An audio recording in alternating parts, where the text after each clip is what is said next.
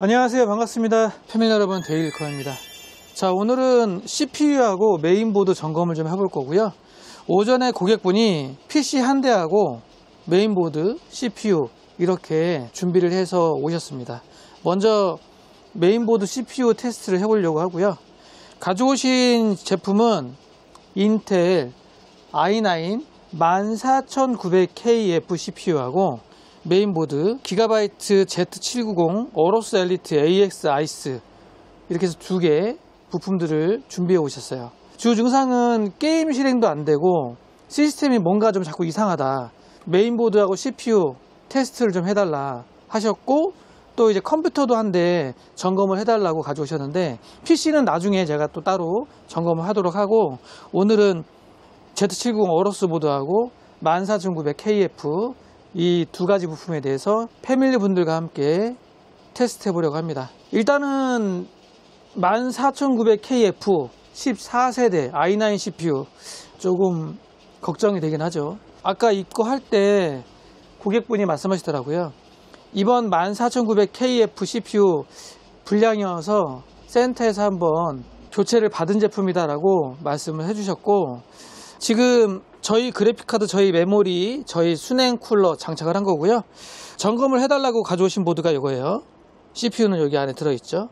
일단 제가 14900KF CPU가 들어오면 제일 먼저 하는 게 RealBench입니다. 뭐 다른 기사분들은 또 방식이 다를 수도 있는데 저만의 또 루틴이라고 할까요? 인텔 CPU 테스트할 때 일단 RealBench부터 잘 되는지 확인을 합니다. 자, 결과는 좀 이따가 보여드리도록 할게요. 시간이 조금 걸려요.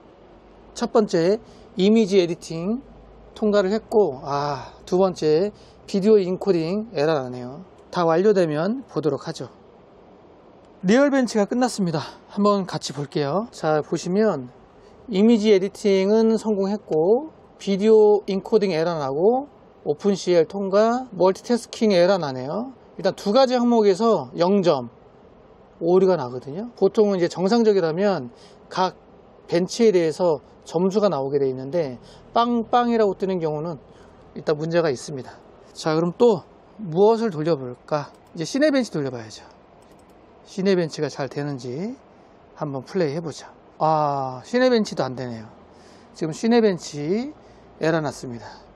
일단 RealBench도 정상적으로 플레이 되지 않고 Cinebench도 정상적으로 플레이 되지 않고 지금 보면 PL1, PL2 전력 제한 값 280W 4095 PL2 값은 풀려 있네요.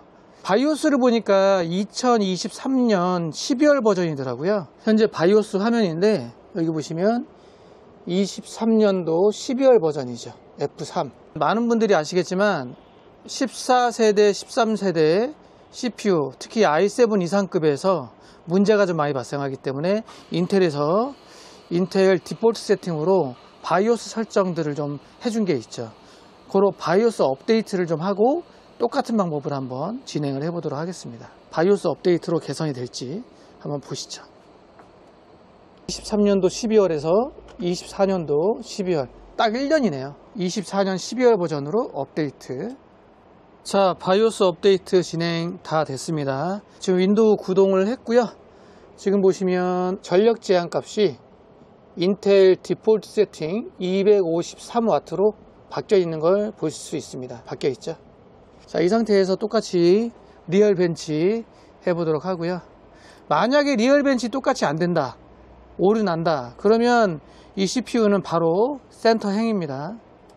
정상적인 환경에서 인텔 CPU를 기준으로 RealBench가 통과가 안 된다. 그러면 CPU에 문제 있을 가능성이 상당히 높습니다. 근데 그런 것들을 좀 개선하기 위해서 인텔에서 가이드라인으로 인텔 디폴트 세팅이라는 바이오스 업데이트로 해결이 될 수도 있어요. 어, 지금 보면 인코딩 에러 안 나죠? 아까 첫 번째는 encoding에 에러 났잖아요. 빵으로. 자 끝까지 한번 진행을 해 볼게요. 작업이 완료됐고요 자 보도록 하겠습니다 다섯 가지 항목 정상적으로 벤치마크 되고 있네요 image editing 인코딩 쭉 해서 뭐 시스템 스코어까지 다 점수가 잘 나오죠 에러 안 나네요 이렇게 하니까 자 일단 통과했습니다 그러면 이제 Cinebench 한번 해봐야죠. Cinebench는 아까 처음 시작하자마자 바로 오류가 났기 때문에 보도록 하죠. Cinebench가 어떻게 될지. 돌까요? 일단 시작됩니다. 아까하고 다르죠. 바이오스만 업데이트 했는데 우리가 그냥 봤을 때 일반 사용자 유저가 봤을 때 뭐 단순하게 바이오스 업데이트만 했는데 아까하고 분위기가 달라. 오류 나던 게 안 나네. 참 신기하죠. 자, 쿨러는 열심히 돌고 있습니다. 14900KF 수냉 당연히 써야 됩니다. 공냉 안 돼요. 10분 놔두죠. 끝까지 플레이가 되는지 중간에 다시 에라 딱 뿜으면서 멈추는지 보도록 하겠습니다. 10분 있다 뵙겠습니다. 자, 시네벤치도 끝났습니다. 10분간 플레이 잘 됐고요.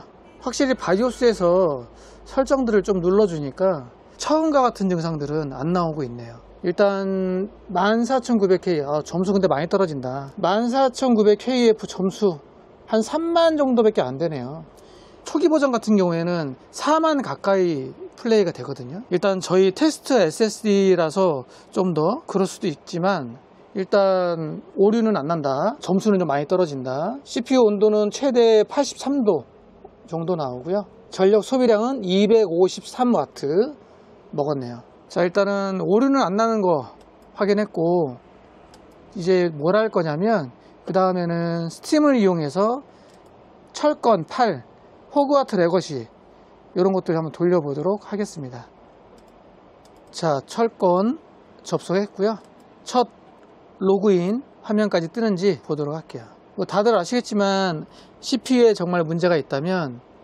철권, 호그와트, 그리고 언리얼 엔진 정상 작동을 하지 않거든요. 동영상은 cancel하고 아, 로그인 되네 접속되네요. 자, 첫 화면 뜨죠. 자, 이번에는 이지벤치 한번 돌려보도록 하겠습니다. 아마 패밀리 분들이 못 보신 모습일 수도 있는데 이 이지벤치 같은 경우에는 언리얼 엔진 기반으로 해서 테스트를 합니다. 아, 이거 설치해야 되네. 어, 설치 끝나고 나서 제가 이지벤치 돌려보도록 하겠습니다. 지금은 이지벤치 벤치 프로그램 테스트 돌리고 있고요. 해상도는 ultrawide 1440 해상도로 지금 플레이하고 있습니다. 잘 돌아가는 것 같고 오류도 없네요. 언리얼 엔진 5.1.1 이라고 되어 있고요.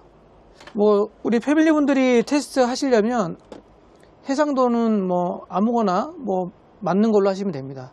1080, 1440, ultra wide 뭐 여러 가지가 있으니까요. 이건 looping 계속 돌릴 거냐 안 돌릴 거냐 보는 거고 뭐 super ultra wide 뭐 이렇게 하셔도 되고 괜찮죠?